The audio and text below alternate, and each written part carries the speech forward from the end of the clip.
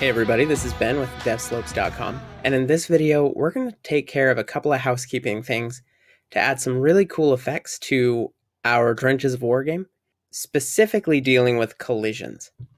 Now, right now, when we run our game, we have tanks driving around, and they shoot at buildings, but we don't really have any visual indicator saying, hey, you've hit a building. And more importantly, the buildings don't even do anything when they get hit. How lame is that?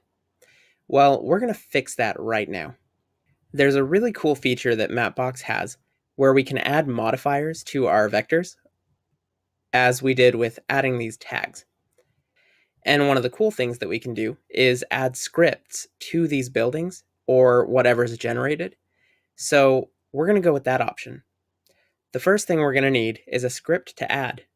Let's do that by expanding our scripts folder and going into this collision handlers folder, and we're going to create a new C sharp script.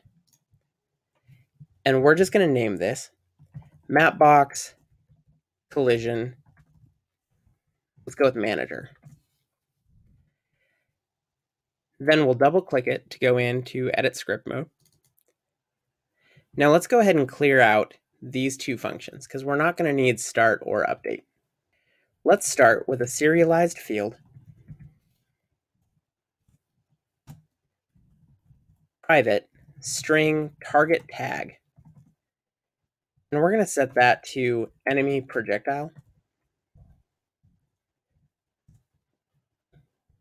And then let's go ahead and serialize this field and call it private string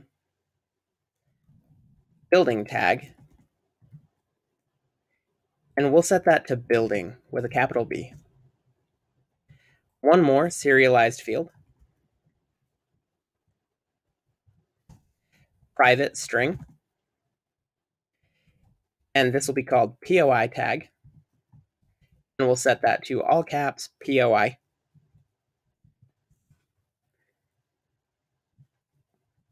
And then we've got a couple of important functions to run.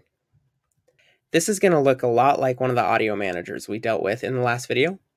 We're going to create a private void on collision enter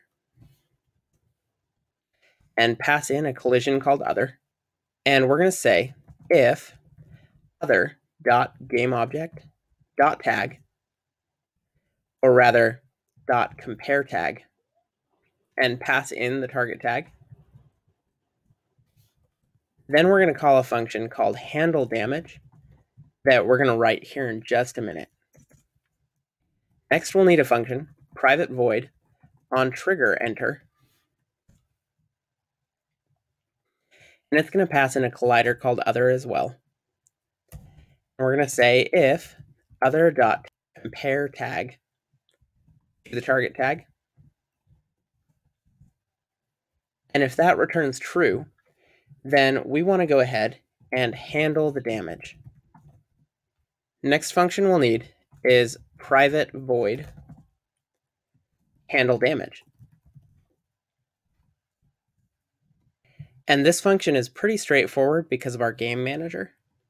We're just going to go ahead and compare tags to find out what kind of tag we're dealing with here. So we're just going to say if game object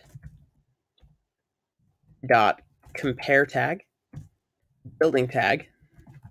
So if it's a building tag, then we just want to call game manager dot instance dot building hit. Else if game object dot compare tag and we're going to compare that to the POI tag. There we go. If it's a point of interest, then we want to call game manager dot instance dot POI hit. Now you'll notice we don't really have a function written for this, and the question is, why would we want to differentiate here? Well, in our game, we're going to go ahead and make points of interest worth more points when it's hit by a tank. We don't want subcomponents to be able to arbitrarily control how much each building is worth. because that could change and it gets messy to have upkeep on. So we want all of that to happen in the game manager. So we'll throw this function in there in just a bit to make this work. But for right now, just roll with it. So perfect. That function is done. Now we're going to go ahead and write one more function. And we're going to say private void paint building. And we're going to pass in a game object of other. This function is going to give us a really cool functionality. It's going to be it's going to help us paint buildings the color of whatever whatever paint glob hit it last. And that's going to provide a whole nother visual cue for our users when there's a tank attacking a building so they can go take care of it. Now to do this, we're going to do a couple of risky things. So let's wrap this in a try catch.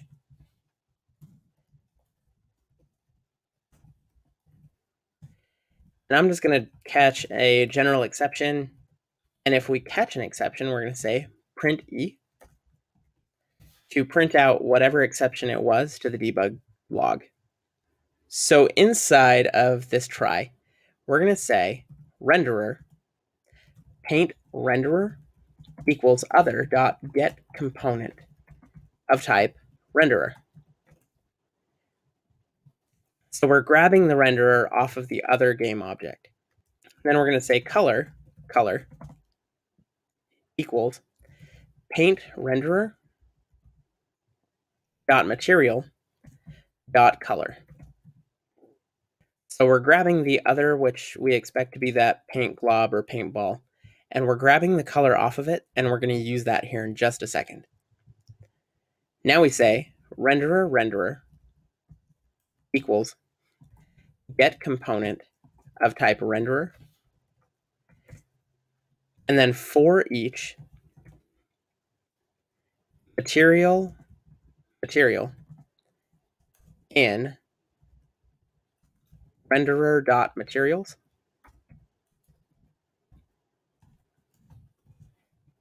we're going to say material dot shader equals shader dot find and we're going to look for the color shader with a capital C. And then we're going to set that material with a new color. So material dot set color, and we're going to grab color and then pass in the color. Then we're going to and then we're going to grab the other shader on this material so material dot shader equals shader dot find specular. S P E C U L A R with a capital S. And then we're just going to go ahead and set this color.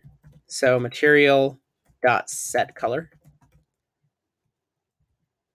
And we're going to target underscore spec color and pass in the color.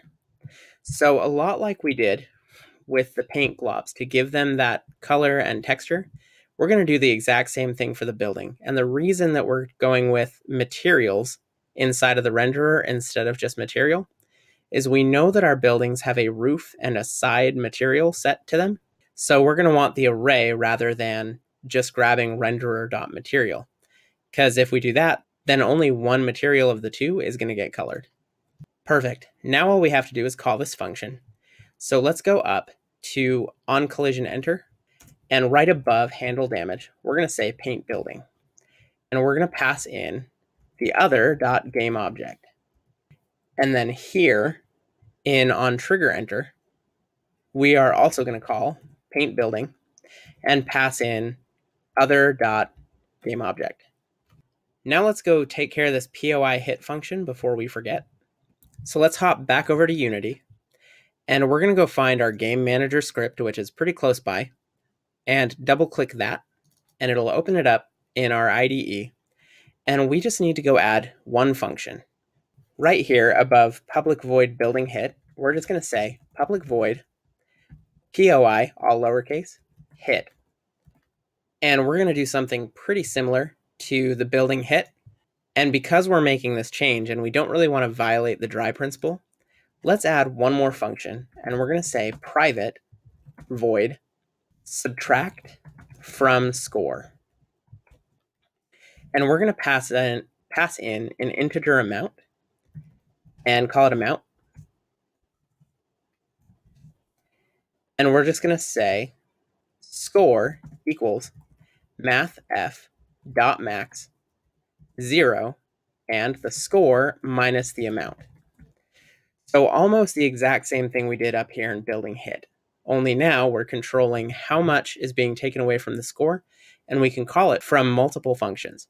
So let's update this building hit and just say subtract from score, and what did we have it at before? Minus 5. And we'll pass in 5. And then we'll head up to the point of interest hit, or POI hit, and we'll say subtract from score. And let's pass in 25. Now, this looks better, but we have one more way that we can fix this to be done the absolute right way. So we're going to make a quick change. We're going to go up to the top and we're going to add a serialized field. First, we're going to say serialized field, private int, ink damage score. And we're going to set that to 5 by default. Actually, that's going to be 1. Then we need another serialized field. And we're going to say private int building damage. Let's actually shorten these to DMG. So let's go up to tank and we're going to shorten this to tank DMG score. And then this second variable is going to be building DMG cost. And we're going to set this to 5. And then we need one more serialized field. And we're going to say private int POI DMG cost. And we'll set that to 25. This will allow us to update these scores from our game manager and put it exactly where we want it to be. Let's scroll back down and we're going to go to enemy hit, this function here, where we are going to hit this when an enemy tank is destroyed. And we're going to say score plus equals tank DMG score. And then here in POI hit, we're going to say subtract from score POI DMG cost. And then in building hit, we're going to say building DMG cost. And we'll save that. And to follow conventions, I should have named this with a capital P. So let's do that and then go change it in our Mapbox collision in our Mapbox collision manager. Real quick, sorry to jump around. So scroll down to this game manager.instance.poi hit, and we'll just update that with a capital P. Save the script, and let's go back to Unity. Now that we've got all this set up, we just have a couple more steps to get our Mapbox vector objects up and running with this script that we just created. Let's go ahead and right click on Mapbox modifiers, this folder that we created under resources. And we're going to create a new Mapbox modifier and we're going to add a new mono behaviors modifier. So click that, and we're just going to call it collision handler. Now, this types that's over here in our options, we're going to click that, change the array size to 1. Let me scroll this over so that we can see this a little more clearly. If you'll notice, it's looking for an element of monoscript type, which, as luck would have it, we have handy. So let's click and drag this Mapbox Collision Manager into that slot. And now all of our objects are going to have that. Perfect. So let's scoot this back to the side and let's press play just so you can see what I'm talking about. Okay, so we paused it real quick so that I could get a good view of our map. And now that we're a little bit closer so we can get a good view. We're going to unpause. And once it generates, I'm going to click off of that map and look down here. So we're going to need to do a couple of things here real quick. So I'm going to start, I'm going to stop running that. And we need to add a few things to our scene for everything we've set up to work. First off, the paintball needs to be a trigger. So we want to make sure that it is which at this point it's not. So go ahead and click is trigger on the sphere collider for the paintball because we want to make sure it goes through objects rather than bouncing off of them. Second, we're going to need to drop our tank generator onto our scene because we never got around to that. So click on the map root and scroll down to the very bottom to our tank factory. And we're going to drag that and drop it onto the object. We're then going to update this spawn height to 2 because 10 is a little much. And then we're going to grab this enemy tank prefab and just drop it into the spawn object field. Next, we need to make a couple of changes while we're here in the map root to one of our vector layer visualizers. This extruded buildings visualizer, we need to update. We need to turn off grouping features. Otherwise, they'll all group up and our tanks will spawn on top of them and they'll all have the same collider, which is not what we're going for at all. We want them all to be individuals so that one building is its own object.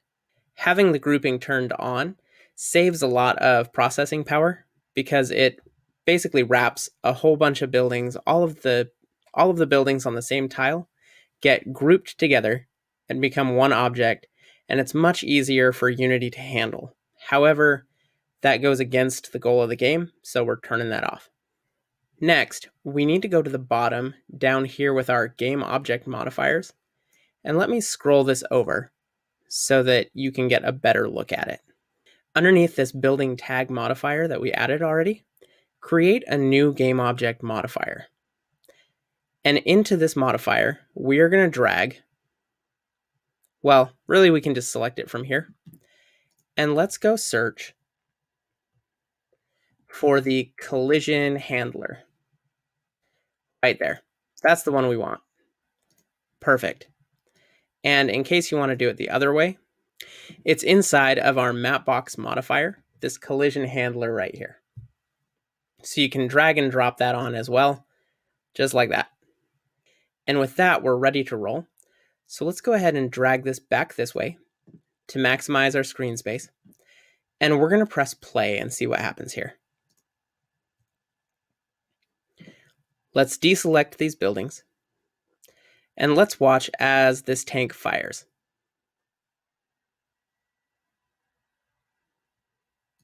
Perfect. There is one little problem with the way that this script is set up.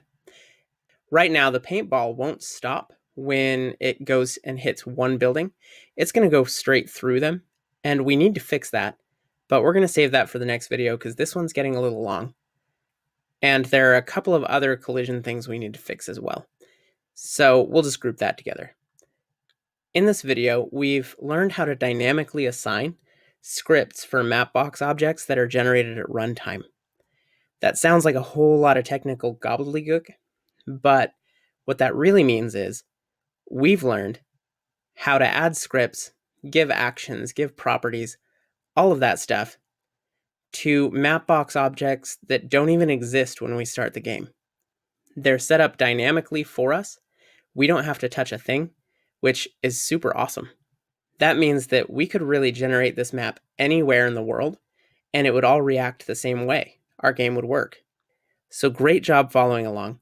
I'm excited to move on to the next lesson. So let's go. This has been with devslopes.com, and we'll see you next time.